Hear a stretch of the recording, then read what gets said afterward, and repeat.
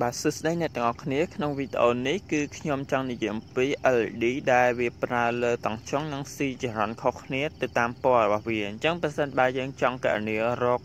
resistance ដើម្បីការពារកុំឲ្យ LED ឆេះពីប្រភពដែលប្រភពយើងតង់ចុងធំជាង LED អញ្ចឹងយើងទៅការប្រើដាក់ resistance ប៉ុន្តែរូបមន្តហ្នឹងវាតាក់ទងជាមួយនឹងតង់ចុងរបស់ LED និងចរន្តដែល LED C ដែលរូបមន្តរបស់វា R ស្មើនឹង វេប្រភពដកនឹងវេ LED ចែកឲ្យចរន្តអញ្ចឹងរូបមន្តហ្នឹងវាមានតកតងជាមួយតង់ចុងរបស់ LED និងចរន្ត LED អញ្ចឹងយើងអត់ដឹងថា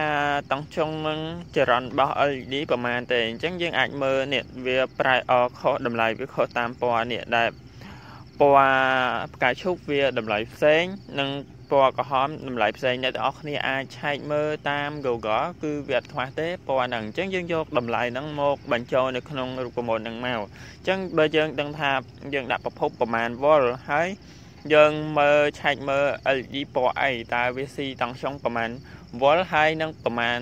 អំពែអញ្ចឹងយើងឆែកមើលនៅក្នុង Google ទៅវាមានតាមពណ៌របស់វាដែលវាស៊ីហើយយើងបញ្ចូលទៅតាមរូបមន្តមួយហ្នឹងទៅគឺវានឹងបានហើយ បាទអរគុណ